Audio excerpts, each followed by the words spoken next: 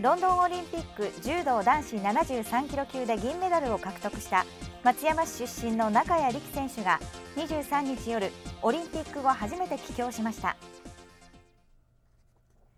中谷選手は松山空港に到着すると中学まで稽古に励んだ伊予柔道会の後輩らの出迎えを受けました。横断幕を手にしたおよそ60人の拍手の中銀メダルを手にオリンピックでの健闘を報告し後輩から花束を受け取りました。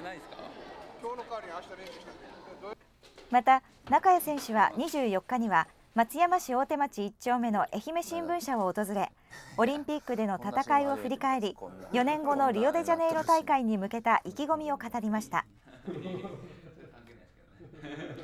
色は違うんですけどやっぱメダル取れたことはすごく誇りに思うしそうですね、まあ、自分が生まれる前から取れてなかったメダル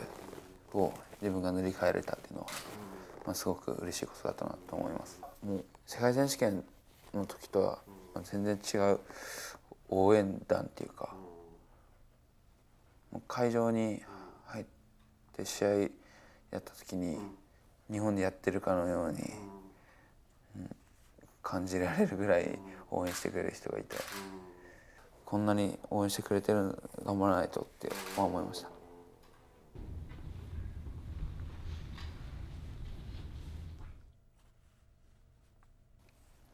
やっぱ銀メダル取っても4年後出れるっていう保証はないんで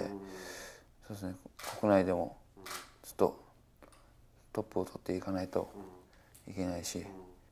日本の争いが多分一番厳しくなると思うんでその中でも絶対勝ってまた4年後切符取りたいなと思います中谷選手は9月上旬まで滞在し友人や恩師に銀メダル獲得を報告するということです。